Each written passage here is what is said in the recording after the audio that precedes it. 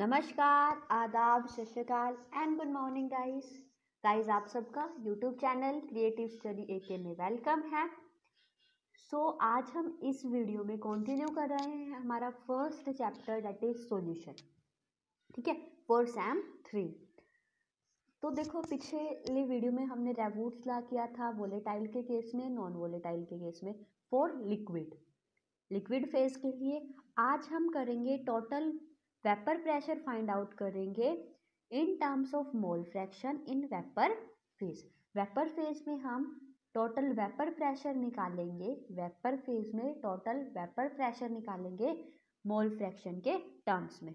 Okay let से अब देखो मैंने ले लिया कि लेट कर लिया मेरी वाई ए और वाई बी जो है मोल फ्रैक्शंस हैं कंपोनेंट ए और बी की. ए और बी मेरे पास दो कंपोनेंट्स हैं। उनकी जो मोल फ्रैक्शन है वाई ए है, एक मेरे पास वाई पी है। पी है उनका टोटल वेपर प्रेशर पी है capital P total vapour pressure okay first of all मैं फाइंड आउट करूँगी partial vapour pressure of A partial pressure A पे ए कंपोनेंट पे। तो हमने ये फॉर्मूला किया था कि जो पार्शियल वेपर प्रेशर होता है पी ए किसके इक्वल होता है? टोटल प्रेशर के इनटू में मोल फ्रैक्शन तो ये मेरे पास ए कंपोनेंट के लिए आ गया फ़र्स्ट इक्वेशन ठीक है? सेम एज इट इज़ मैं बी के लिए फाइंड आउट करूँगी. बी के लिए करूँगी तो Y P B equal to P Y B ये मेरे पास सेकेंड इक्वेशन हो गई. ठीक है? अब इनकी जो पी ए और पी बी की वैल्यूज़ है रेवूट्स ला से पुट करेंगे. रेवूट्स ला हमने नॉन वोलेटाइल के केस में किया था। रेवूट्स ला क्या किया था? जो मेरा पी ए है, वो किसके इक्वल है? P not A X A के इक्वल ठीक है? पी बी है मेरे पास P not B X B है ना? ये वैल्यूज़ आई थी। अगर आपने ये देखा नहीं है, कैसे आई थी वो पिछले वीडियो में देखना। ठीक है? हम जस्ट रिज़ल्ट यूज़ करेंगे। रेवुड्स ला की इन दोनों की वैल्यूज़ पुट करेंगे। इनके अंदर, देखो, यहाँ क्या है? पी बी है, वहाँ पी ए था। पी ए की जगह मैंने P not A X A equal to P Y A और यहाँ क्या कर दिया? P not B X B equal to P Y B ये मेरे पास फ़र्स्ट इक्वेशन आ गई, ये मेरे पास सेकेंड इक्वेशन आ गई। ठीक है? यूजिंग डेल्टन ला डेल्टन हमारे पास एक साइंटिस्ट था जिन्होंने क्या किया था कि जो मेरा टोटल वेपर प्रेशर होता है टोटल जो प्रेशर होता है वो किसके इक्वल होता है? सम ऑफ़ इंडिविजुअल प्रेशर के, है ना? यही बताया था तो सेम एज इट इज़ हम करेंगे। जो कैपिटल पी है, वो किसके इक्वल हो जाएगा? X A P not A plus X B P not B इन दोनों के सम अप के इक्वल तो सम अप के इक्वल होगा? तो इनकी जगह क्या कर सकते हैं? हमने एक इक्वेशन की थी X A plus X B mole fraction of A plus B equal to one ये वाला रिलेशन पुट करेंगे। एक्स ए की जगह मैं पुट कर सकती हूँ। One minus X B into में P not A plus X B P not B इतना समझ आ गया? इसके बाद क्या करेंगे? इसकी मल्टीप्लाई करेंगे। इसकी मल्टीप्लाई करेंगे। ठीक है? और फिर कॉमन निकाल के ये वाला रिज़ल्ट आ जाएगा। एक्स बी हमारा कॉमन आ जाएगा दोनों से। P not A plus X P not B minus P not A into में एक्स बी ये रिज़ल्ट आ गया। उसके बाद क्या करेंगे? जो हमें निकालनी है mole fraction mole fraction X B जो है उसकी वैल्यू फाइंड आउट करेंगे। तो इसको मैं उस साइड ले जाऊँ। पी कैपिटल पी है मेरा इस साइड।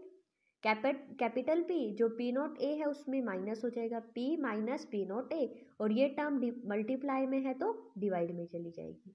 ये वाला रिज़ल्ट आ गया। ये मेरी थर्ड इक्वेशन हो गई। ओके, अब क्या करेंगे? Second equation. सेकेंड इक्वेशन क्या थी? P not B X B equal to P Y B इसमें हम पुट करेंगे एक्स बी की वैल्यू। ठीक है? एक्स बी की वैल्यू फाइंड आउट की, putting third equation in second. समझ आ गया? वैल्यूज़ पुट करेंगे। तो Y B equal to P not B into में P minus P not A ये वैल्यूज़ हमने पुट कर दी। ओके इसको मैं उस साइड लेके चली जाऊँगी। इसको मैं इस साइड लेके चली गई और इसको यहाँ छोड़ दिया मैंने। तो इसको फिर मैंने क्या किया? रीअरेंज किया। जो कॉमन निकल रहा था कॉमन निकाल लिया। पी पी दोनों में से कॉमन निकल जाएगा। फिर क्या हो जाएगा? P not sorry Y B into में P not B minus P not A minus P not B इसको मैंने इक्वेशन को रीअरेंज किया है। इक्वल टू किसके? Minus P not A P B ये मल्टीप्लाई करके इन दोनों की। इसको इस साइड लेके जाएँगे टर्म को। दोनों में से पी कैपिटल पी कॉमन निकालेंगे। और इस साइड हम रखेंगे minus P not A, P not B. Okay? उसके बाद देखो नेक्स्ट क्या किया? थोड़ा सा और सोल्व केयर करेंगे तो क्या होएगा? P X B, P not A minus P not B equal to P not A, P not B. ठीक है? सेम एज इट इज़ अब कैपिटल पी की वैल्यू निकाल लेंगे, इसको हम नीचे लेके जाएँगे, ये डिवाइड में आ जाएगा। तो ये मेरा क्या आ गया? टोटल वेपर प्रेशर आ गया। टोटल प्रेशर आ गया in terms of vapour phase vapour phase के लिए।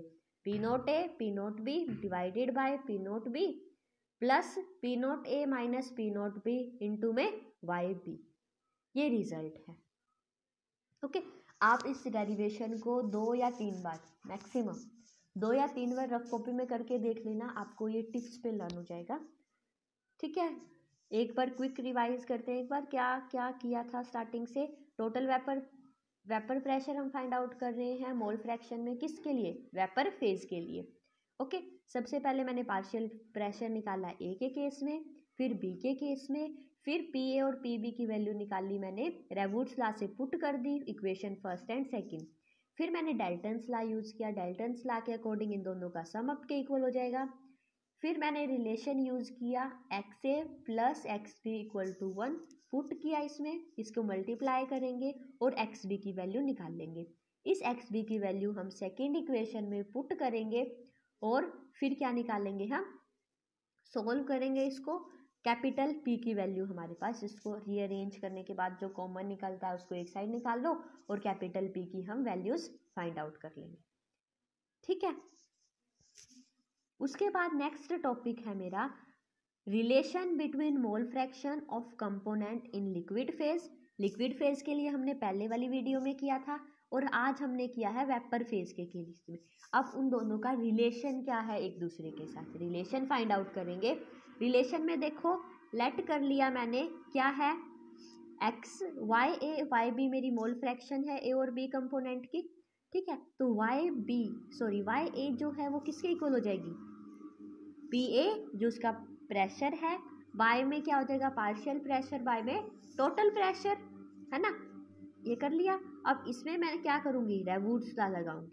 रेवूट्स ला ये होता है ना पी ए किसके इक्वल होगा? X A into P nought A and P B किसके इक्वल होगा? X B P nought B understand अब ये वाली वैल्यूज़ इस इक्वेशन में पुट कर देंगे। समझ आया? टोटल किसके इक्वल होगा capital P P A plus P B को? अलग अलग ये लिख दिया। अब हम इसकी वैल्यूज़ यहाँ पुट करेंगे। तो इसको हम करेंगे सोल्व यानी X A P nought A किसके इक्वल है? पी ए के डिवाइडेड बाय पी ए की वैल्यू पी बी की वैल्यू अंडरस्टैंड सेम चीज़ फिर वही करेंगे। वैल्यूज़ पुट की है सिंपल फिर हम क्या करेंगे? एक्स ए की जगह जो रिलेशन था X A plus X B equal to one तो एक्स ए मेरा क्या हो जाएगा? X A equal to one minus X B put किया? ये वाला, है ना? यहाँ पुट कर दिया, ये थर्ड इक्वेशन आ गई। उसके बाद क्या करेंगे? वाई बी की वैल्यू इसको सोल्व करेंगे मल्टीप्लाई करेंगे इसकी, इसके साथ, फिर कॉमन निकाल के एक्स पी और फिर क्या करेंगे? वाई बी की वो जो वैल्यू आएगी, वो मेरे पास क्या आएगी? X A sorry Y A की आएगी। मिस्टेक है गाइस क्योंकि वाई ए की निकाल दिया ना हम। तो वाई ए की जो वैल्यू आएगी, यहाँ क्या कर लेना? वाई ए कर लेना। इसको यहाँ क्या करना है? वाई ए करना है वाई बी नहीं करना। वाई ए ये मेरे से मिस्टेक होगी लिखने में। वाई ए ठीक है? वाई ए क्या होएगी? ऊपर X A P nought A divided by P nought B minus P nought A into में X B plus P nought A ये रिलेशन आ जाएगा सोल्व करोगे तो। अब सेम एज इट इज़ हम क्या कर सकते हैं? पी बी का निकालेंगे वाई बी का mole fraction for of B B component के लिए निकालेंगे तो सेम क्या होएगा ऊपर क्या आएगा? पी बी बाय में P A plus P B values put करेंगे रेगुट्स ला के लिए X A P nought B यहाँ क्या हो जाएगा? सेम यही वाला, यही वाली सोल्व करने के बाद सेम एज इट इज़ यही आएगा दोनों का. ठीक है? अब दोनों को डिवाइड कर देंगे हम. डिवाइड करेंगे तो ऊपर बी रखेंगे, नीचे ए ए की मोल फ्रैक्शन ठीक है? दोनों की वैल्यूज़ पुट करेंगे तो क्या होएगा? नीचे वाली जो टर्म्स है वो क्या हो जाएगी? एक दूसरे के साथ कट हो जाएगी। एक्स बी बाई में एक्स ए इंटू में पी नोट बी बाई में पी नोट ए ठीक है? ये हमारा रिलेशन आ जाएगा। किसके केस में? वेपर फ़ेज़ के केस में और वेपर फ़ेज़ के केस में और लिक्विड फ़ेज़ के केस में।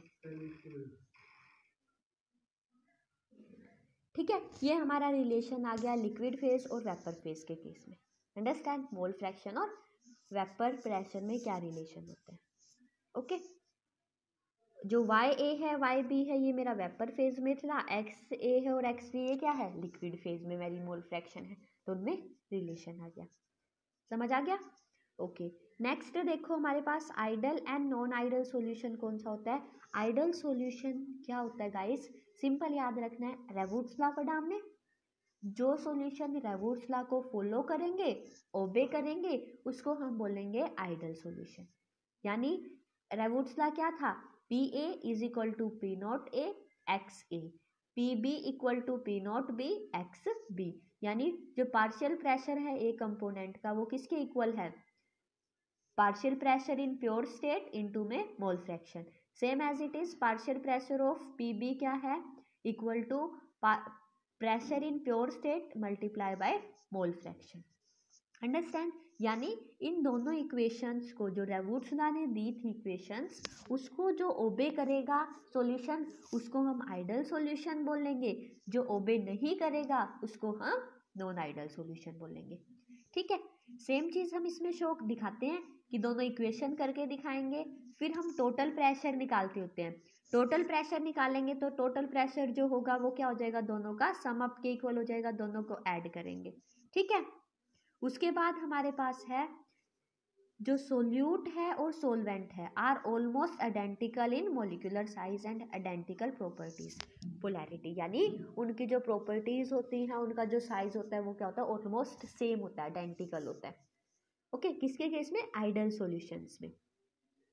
उसके बाद एक कंडीशन होती है हमारी, ये हम प्लस वन में भी पढ़ते हैं कि जो आइडल सॉल्यूशंस होते हैं, उनमें देखो जो इंटरमोलिकुलर अट्रैक्शन होता है इंटरमोलिकुलर अट्रैक्शन होता है। देखो, दो कंपोनेंट्स है, एक ए है, एक बी है। इन दोनों के बीच में जो अट्रैक्शन होगा ना, और ए ए और बी बी इन दोनों के बीच में ए ए में अलग अलग प्योर स्टेट में जो इंट्रैक्शन होगा, वो क्या होगा? सेम होगा जो अलग अलग में होगा। यानी ए बी में जो इंटरेक्शन है ए ए में और बी बी में। तीनों में क्या होगा? इंटरेक्शन का जो मैग्नीट्यूड है, जो वैल्यू है, वो क्या होगी?